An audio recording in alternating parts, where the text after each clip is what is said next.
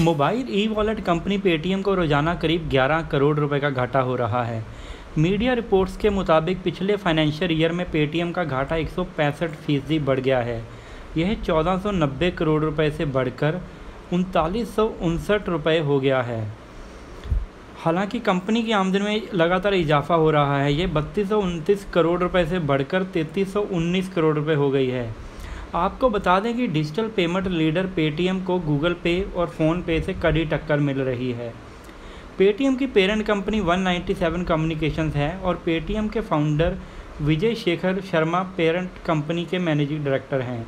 Company में उनकी 15.7 फ़ीसदी हिस्सेदारी है। साल 2019 के शुरुआती तीन महीनों के दौरान पेटीएम से 1.2 अरब मर्जेंट ट्रांजैक्शन हुए, जो एक करोड़ चालीस लाख रिटेल स्टोर्स के ज़रिए किए गए।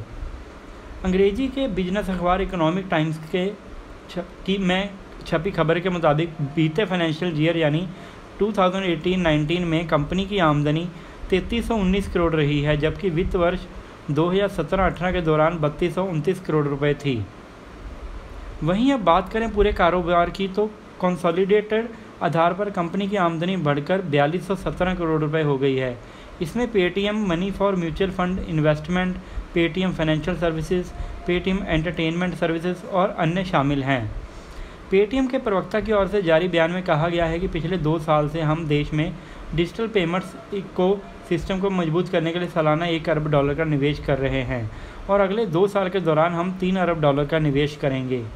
इंडिया डिजिटल पेमेंट्स के इन्फ्लेशन पॉइंट पर है और पेटीएम का पूरा फोकस मर्चेंट पेमेंट की समस्याएँ सुलझाने और उन्हें वित्तीय सेवाएँ मुहैया कराने पर है।